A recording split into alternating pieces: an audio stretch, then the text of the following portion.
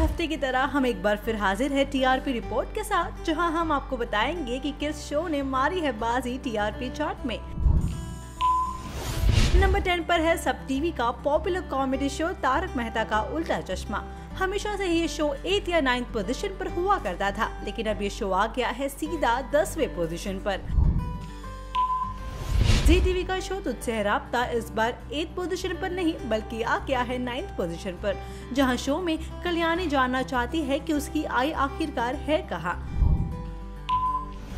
कुल्फी कुमार बाजेवाला भी इस बार नीचे गिरकर आ गया है एट पोजीशन पर। वेल इसी के साथ कलर्स के नए शो कवच ने टी आर लिस्ट में एंट्री मार ली है, जहाँ शो है सेवेंथ पोजीशन पर। कलर्स टीवी का शो नागिन हमेशा से ही दर्शकों को एंटरटेन करता आया है, जहाँ ये शो पिछले वीक नंबर वन पर था, अब ये आ गया है सिक्स पोजीशन पर।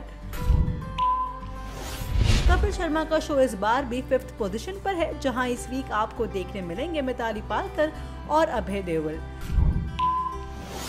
स्टार का शो कसौटी भी इस बार गिर कर आ गया है फोर्थ पोजीशन पर, जहाँ फैंस को बेसब्री से इंतज़ार है मिस्टर बजाज का। जी टीवी का शो कुमकुम भाग्य इस बार थर्ड पोजीशन पर है, जहाँ रिया की चौल पड़ सकती है प्राची पर भारी।